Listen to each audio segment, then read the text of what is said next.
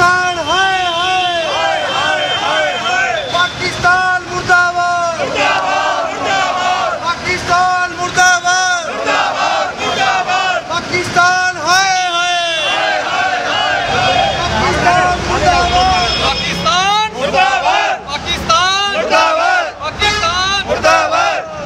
ਹਿੰਦੁਸਤਾਨ ਦੀ ਆਰਮੀ। ਜਿੰਦਾਬਾਦ। ਹਿੰਦੁਸਤਾਨ ਦੀ ਆਰਮੀ। ਜਿੰਦਾਬਾਦ। ਹਿੰਦੁਸਤਾਨ ਦੀ ਆਰਮੀ। ਜਿੰਦਾਬਾਦ। हमारे श्री दमर है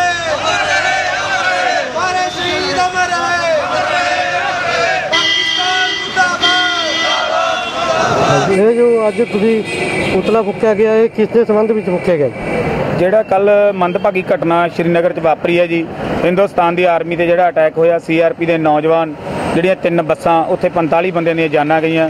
ਉਸ ਸਬੰਧ ਦੇ ਵਿੱਚ ਪਾਕਿਸਤਾਨ ਦੇ ਜਿਹੜਾ ਘਨੌਣਾ ਹਰਕਤ ਸੀ ਇਹ, ਉਹਦੇ ਵਿਰੋਧ ਦੇ ਵਿੱਚ, ਉਹਦੇ ਰੋਸ ਦੇ ਵਿੱਚ ਪਾਕਿਸਤਾਨ ਦਾ ਝੰਡਾ ਫੂਕਿਆ। ਤਾਂ ਜੋ ਜਿਹੜੀ ਆ ਸਾਡੀ ਹਿੰਦੁਸਤਾਨ ਸਰਕਾਰ ਦੀ ਵੀ ਨੀਂਦਰ ਖੁੱਲ ਸਕੇ, ਵੀ ਹਰ ਰੋਜ਼ ਉਹਨਾਂ ਤੋਂ ਨੌਜਵਾਨ ਮਰਵਾਈ ਜਾ ਰਹੇ ਆ। ਸਿੱਧਮ ਸਿੱਧਾ ਆਰ-ਪਾਰ ਦੀ ਲੜਾਈ ਹੋਏ ਹਿੰਦੁਸਤਾਨ ਦਾ ਹਰੇਕ ਨਾਗਰਿਕ ਹੁਣ ਆਰ-ਪਾਰ ਦੀ ਲੜਾਈ ਚਾਹੁੰਦਾ।